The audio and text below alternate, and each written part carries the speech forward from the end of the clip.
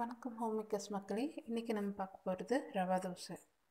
இப்போ ஒரு பாத்திரத்தில் அரிசி மாவு நம்ம எடுத்துக்கலாம் ஒரு கப்பு அப்படி இல்லைன்னா ஏற்கனவே கொஞ்சம் மீதி உள்ள தோசை மாவையும் நம்ம எடுத்துக்கலாம்.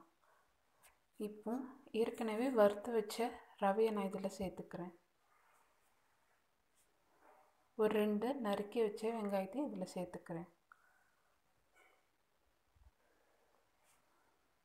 கொஞ்சமாக கருவேப்பிலை இலையை இதில் கொஞ்சம் கருவேப்பிலை சேர்த்தா கொஞ்சம் நல்லா ஃப்ளேவர் இருக்கும்.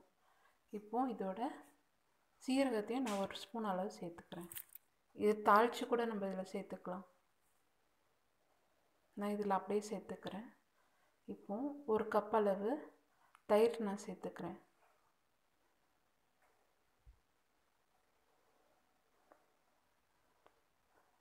இதோட தேவையான அளவு உப்பையும் நம்ம இப்போ சேர்த்துக்கலாம். உப்பு நல்லா சேர்த்துட்டு கொஞ்சம் மிக்ஸ் பண்ணிவிட்டு அப்புறம் இதோட கொஞ்சம் தண்ணி நம்ம ஆட் பண்ணிக்கலாம். தண்ணி கொஞ்சம் தாராளமாகவே இருக்கலாம். கொஞ்சம் நல்ல தண்ணியான கன்சிஸ்டன்சியை தான் வரணும் அதுக்கு. நான் இப்போ இதை வந்து நான் சேர்த்துருக்கேன். சின்னதாக நறுக்கி.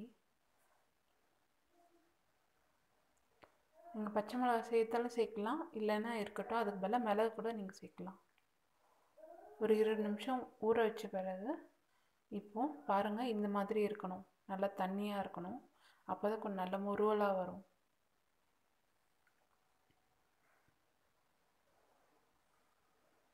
இது மாதிரி நல்லா ஸ்ப்ரெட் பண்ணி விடுங்க. அந்த ஓட்டை ஓட்டையாக இருந்தால் தான் நல்லா சாஃப்டாக கிறிஸ்பியாக இருக்கும்.